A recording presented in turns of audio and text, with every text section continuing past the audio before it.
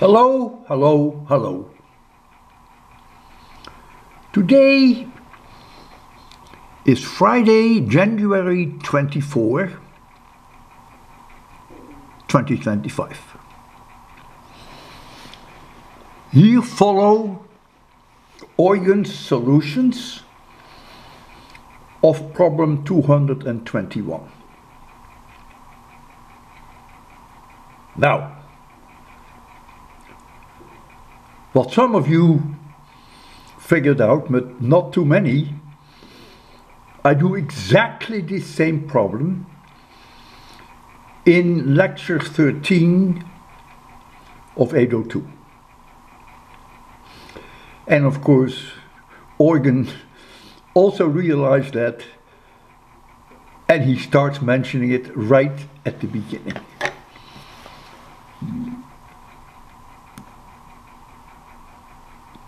So these are the words by Eugen. Before we dive into the solution, I strongly recommend watching lecture 13 from the 802 series. I made a snapshot from that lecture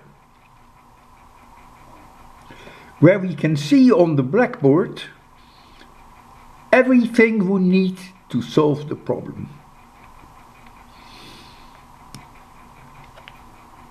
And I want to ask your attention in particular to this. R is the square root of 2mv, q is the charge, b to the power square. That's the, really the answer. I derived it. So let's now go over Eugen's solution in a bit more detail.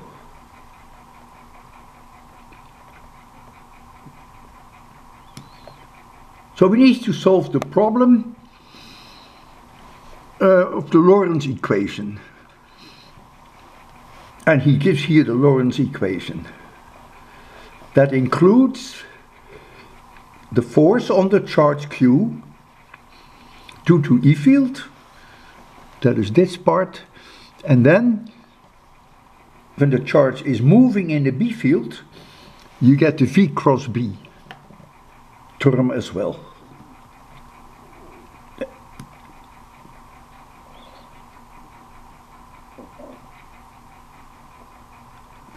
So here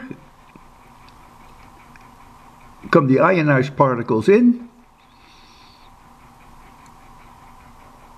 and that is at the end of that electric field which accelerates them.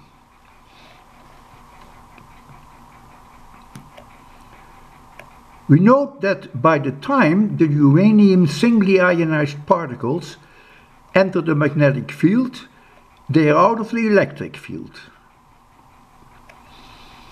We also note that V and B are perpendicular, so the cross product, vectorial cross product, V cross B is simply V times B.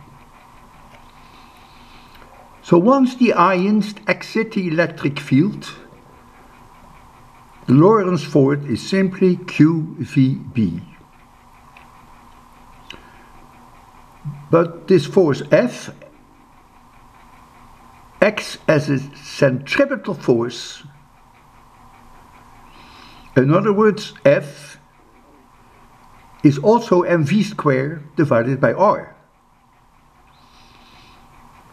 m here is the mass of the ions, v is the ion's velocity, and r is the radius that the ions follow in that magnetic field.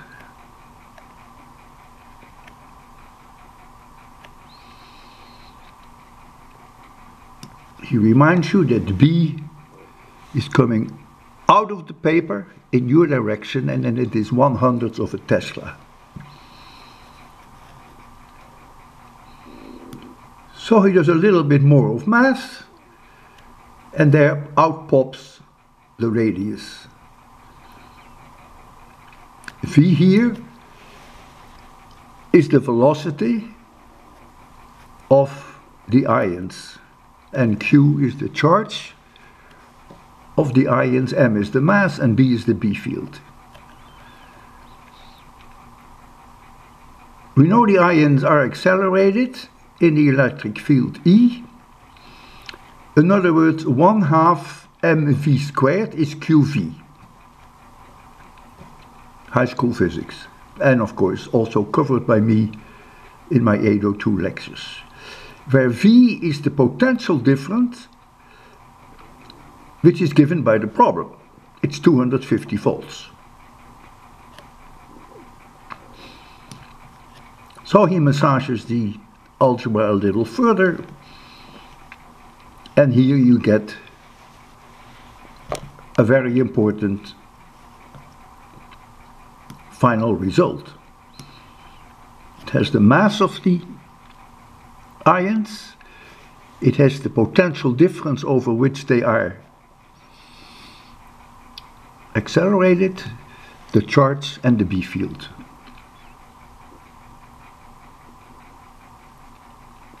Oh, he mentions that too. We also know that the particles are singly ionized, so Q is the elementary charge. And that is 1.6 times 10 to the minus 19 coulomb.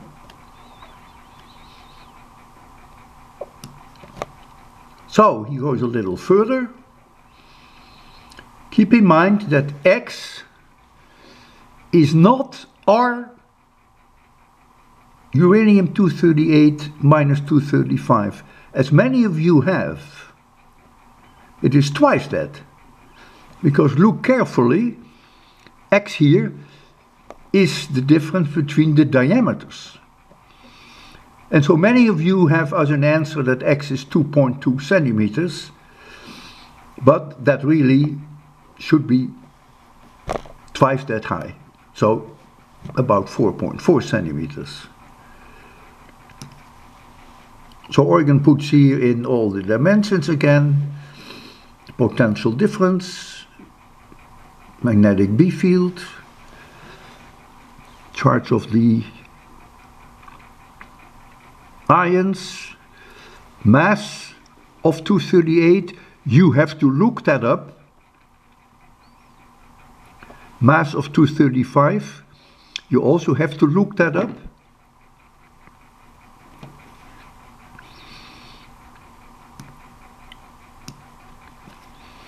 He also calculated here the speed of these ions.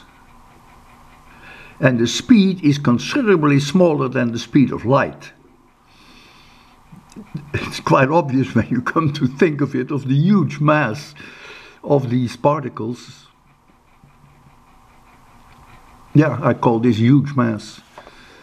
So he mentions, note that we also need to verify the velocities to make sure that no relativistic correction is needed, and indeed that is not needed. I probably mentioned that also in lecture 13. Thank you, Eugen, for this wonderful solution. And when I say it's a wonderful solution, I'm also patting myself on the back because I do it exactly this way in lecture 13 of 802.